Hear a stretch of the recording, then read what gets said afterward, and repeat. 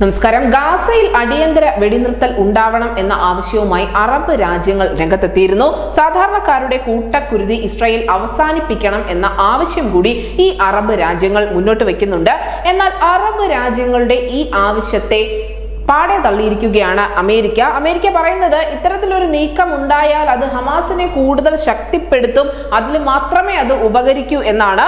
മാത്രമല്ല ബന്ദികളാക്കപ്പെട്ടവരുടെ മോചനം സാധ്യമാകുന്നത് വരെ വെടിനിർത്തലിനെ പറ്റി ചിന്തിക്കുന്നതേ ഇല്ല. അത്തരം അത്തരമൊന്ന് തങ്ങളുടെ അജണ്ടയിൽ ഇല്ല എന്ന് ഇസ്രായേൽ പ്രധാനമന്ത്രി ബെഞ്ചമിൻ നെതന്യാഹു വ്യക്തമാക്കിയിരിക്കുന്നു. വെടിനിർത്തൽ ആവശ്യപ്പെട്ട് ഗാസയിൽ പതിനായിരക്കണക്കിന് ആളുകളാണ് ഒരു പ്രക്ഷോഭം നടത്തിയിരിക്കുന്നത്. തെക്കൻ ലെബനെതിരായ കടന്നാക്രമണം ഇസ്രായേൽ എത്രയും വേഗം അവസാനിപ്പിക്കണമെന്ന് ലെബനൻ പ്രധാനമന്ത്രി നജീബ് മിക്കാദിയും ആവശ്യപ്പെട്ടിട്ടുണ്ട്.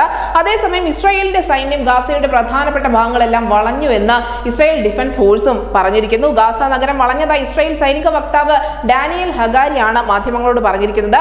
ഹമാസിന്റെ കേന്ദ്രമായ ഗാസ നഗരം വളയുന്നത് ഇസ്രായേൽ സൈനികർ പൂർത്തിയാക്കിയിരിക്കുന്നു. വെടിനിർത്തൽ സാധ്യതകൾ തൽക്കാലം തങ്ങളുടെ പരിഗണനയിൽ പോലും ഇല്ല എന്നുകൂടി ഹഗാരി വ്യക്തമാക്കിയിട്ടുണ്ട്. എന്നാൽ ഹമാസിന്റെ സൈനിക വിഭാഗമായ ഖസാം ബ്രിഗേഡ് ശക്തമായ മുന്നറിയിപ്പുമായി രംഗത്തെത്തിയിട്ടുണ്ട് ഗാസ ഇസ്രായേലിന് ചരിത്ര ശാപമായി മാറും എന്നാണ് ഹമാസ് പറഞ്ഞിരിക്കുന്നത്. കഴിഞ്ഞ ദിവസവും ഹമാസിന്റെ ഭാഗത്തു നിന്നും ഇതിനോട് സാമ്യതയുള്ള ഒരു ആരോപണം വന്നിരുന്നു.